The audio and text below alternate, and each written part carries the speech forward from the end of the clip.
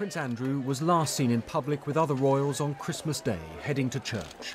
Any festive cheer will have been replaced now by concerns over these allegations. The front pages of today's newspapers will have been a pretty unpalatable read for his family and for the prince.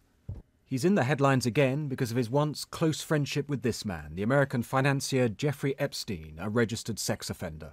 Andrew once stayed with him in New York. The well connected billionaire was sentenced in 2008 to 18 months in jail after pleading guilty to an offence of soliciting a minor for prostitution. Fourteen years ago, Prince Andrew was photographed with Virginia Roberts, who was then 17 and who was described as Epstein's personal masseuse. Now, Prince Andrew has been named in court papers in Florida. It's not an action against him. It's alleged that as a minor, a woman was the victim of a sex trafficking scheme run by Epstein. The document reads one such powerful individual Epstein forced the woman to have sexual relationships with was a member of the British royal family, Prince Andrew.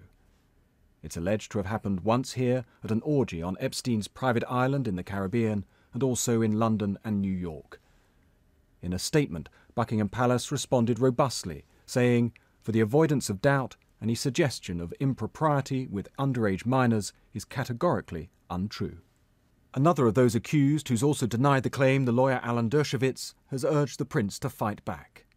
You can't allow these allegations to hang above uh, you. Uh, the first question you have to ask yourself when you're charged with a crime like this is is there any conceivable possibility you did it? And if the answer to that is no, then you have to fight back with every resource and ounce of energy available to you.